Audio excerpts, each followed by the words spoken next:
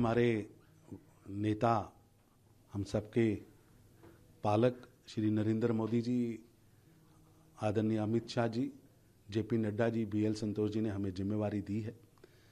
और हम तो एक सिपाही की तरह पहले भी काम कर रहे थे, सिपाही की तरह आगे भी काम करेंगे, जो आदेश होगा पार्टी का, जिस मोर्चे पर जाना, यहाँ तो कोई पद नहीं है, ये जिम्मेवारी है। और पार्टी की जिम्मेवारी एक सिपाही की तौर पे पिछले तीस सालों से कर रहा हूँ, आगे भी करता रहूँगा। और भारतीय जनता पार्टी की ये टीम आदरणीय नड्डा जी के नेतृत्व में, श्री नरेंद्र मोदी जी की सरकार की जो उपलब्धियाँ हैं, वो जन जन तक पहुँचाने के लिए लगातार काम करेगी।